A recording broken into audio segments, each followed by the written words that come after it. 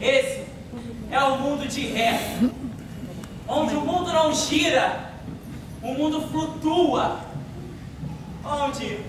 todos esses rapazes e moças só pensam